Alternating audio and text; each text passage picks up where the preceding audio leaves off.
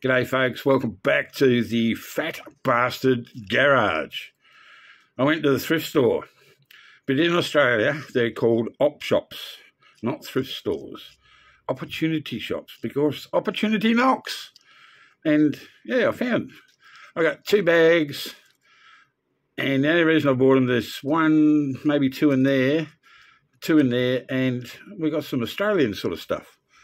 So this one was loose. I think I paid 50 cents for it. It's a no brand China. It's got suspension, although the back suspension is knackered. It's got a broken bumper just there. But you know, take the stickers off and a wheel swap and what have you, and that's going to go in the parts bin because I like it. It's actually got a better steering wheel than Hot Wheels. See that? It's not a pizza wheel. That was cool. We'll open this one up here first because it's got bits and pieces that I like. We got what used to be a fire rescue.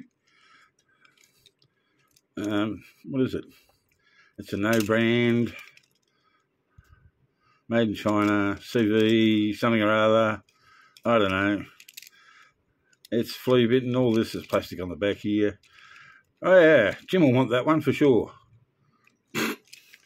That's it's not cool, but anyway. I can't find the hole. That's what she said. How about we just do that? That's better. All right, we've got.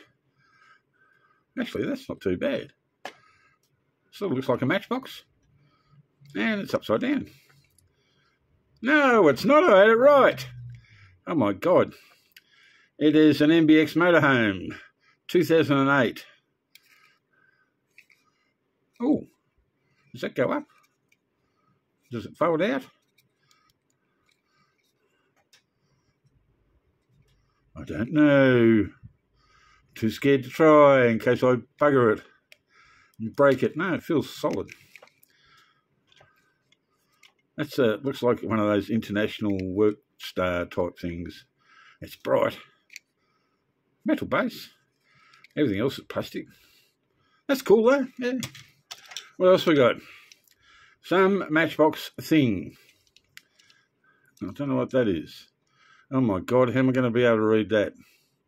Is there anything written on there? Made in Thailand. Something Mattel 2013. And it doesn't say what it is. Does anyone know what that is?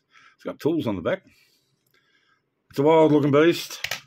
Then we got another truck type thingy, which I assume is another matchbox. Yep. It's just a dump truck, but we ain't got the dumper. No, we ain't got the dumper. Oh, yeah, now you look at it that way, I can, yeah, yeah, well, it's one of those mine trucks. She's, um, she's a bit wobbly, but anyway, that's all right for bits. We've got another, oh my God, I've got no idea. It's, can you read that? No, because I had it up the right way the first time. Oh, I've got no idea. I don't even know what it is. It's got, like, the light bar on top. And I, police rescue, there you go. I don't know what that bit is. But that light bar might come in handy for something. We got another. Oh yeah. Weird. This has got to be Matchbox. Come on. Focus, you son of a preacher man. It's not going to because it's white. And I've got it upside down. Anyway, that's a rubbish truck. There you go. And it works. It's Matchbox. And it's, yeah. That's all I can say about that. This one, the Qantas bus. I quite like this. Oh, look at that big post right in the middle of it. How bloody ugly is that? Yeah. You don't know who Qantas are? Qantas is Australia's biggest airline and the biggest pack of rip-offs you ever come across. They're paying out millions and millions, or hundreds of millions of dollars back to the government because they ripped people off. It's still, you know, it's a pretty iconic logo. The old flying kangaroo, but they're a pack of wankers. And here we've got Qantas Freight, and that looks like a man truck. And this is all going to be, I can't see that. Oh, this is just made in China. Qantas Freight, it looks like a MAN. M A N to me. They're cool. They're going to go in the Australian like thingy because I don't have much in the way of. Well, I do. I've got all the Oz wheels, but this one had some shitty stuff in it. I don't know what that is. It's El Cheapo 216 high speed. I don't think that is a high speed somehow. I don't know. Yep. We've got another one of them, I think, with the, the top here. And I can't put it back on because I can't see what I'm doing through the camera. Does that go?